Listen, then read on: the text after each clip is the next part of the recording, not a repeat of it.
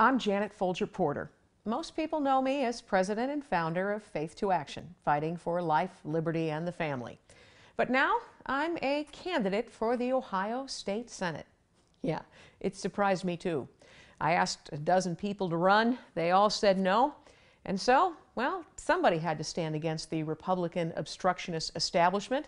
If nobody else would do it, I put my own faith to action and I pulled petitions to run for the state senate. Here's the Medina County Gazette Christian activist is seeking the Senate seat.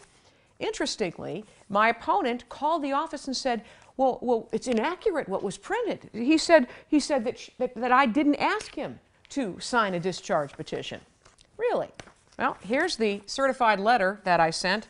Oh, here's the receipt It went out on October the 21st.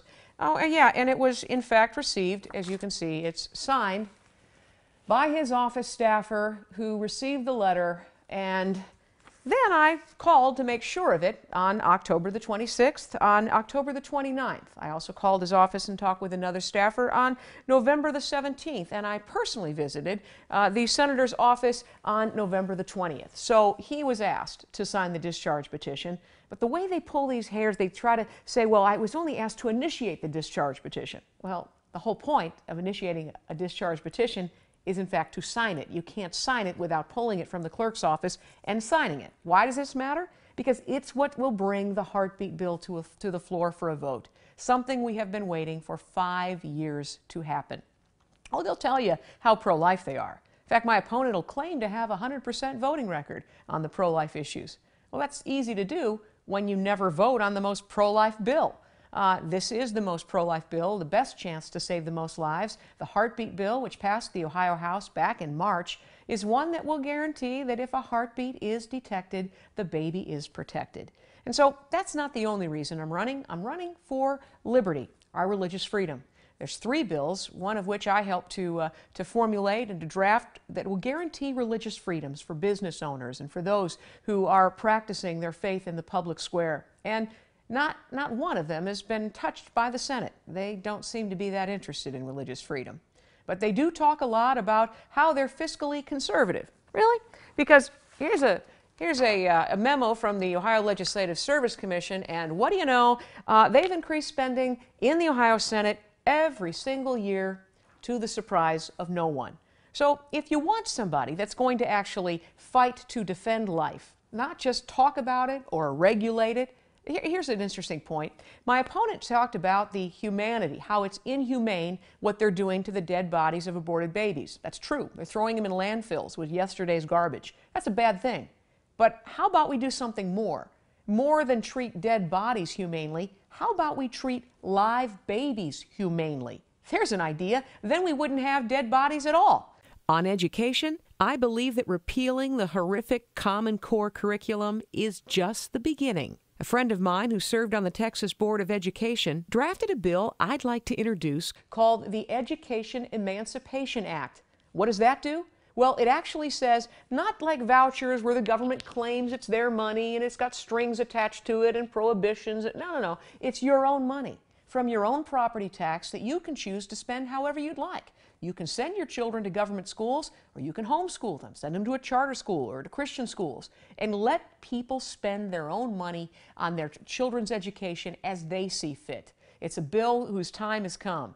People say, oh, that'll hurt the, the public school system. No, no, no. The free market never hurt anything. It'll actually, I believe, raise the bar in the public school system. So instead of dumbing kids down with, with Common Core, they'll actually have to raise the standard in order to compete. So I think, you know, it was, it was just really a, an issue if nobody else would run. But the more I think about it, the more I think we could have a lot of fun in the Ohio Senate instead of on the outside begging them for their vote. We could actually take our government back because you know what?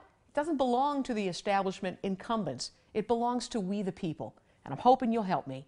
If you go to janetfolgerporter.com, you can, uh, you can find out ways to help, including volunteering for the campaign, joining the intercessory team, and yes, donating. Here's the, here's the, the best news of the day.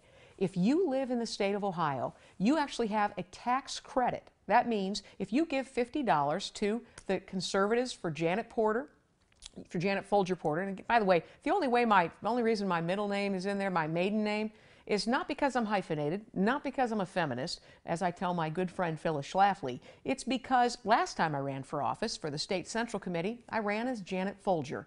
A lot of people knew me as Janet Folger. I wrote uh, True to Life and The Criminalization of Christianity, a lot of books as Janet Folger, and now I'm married. I'm pro marriage.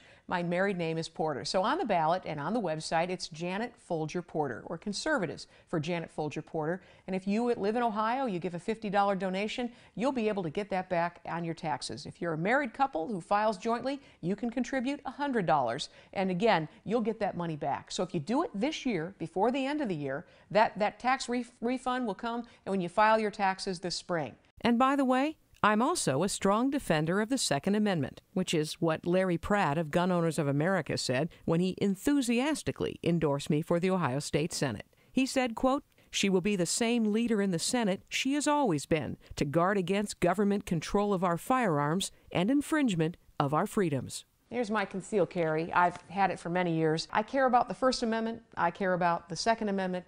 And in fact, I care about the whole Constitution. If you do, and if you want to see it defended there in the State House, uh, by the way, I also despise Obamacare. I don't dislike it. I despise Obamacare and all that it means, but my opponent voted for Obamacare in the state budget. I hope you'll join me in doing something about it at janetfolgerporter.com. Thanks so much in advance for putting your faith to action so that we can take our government back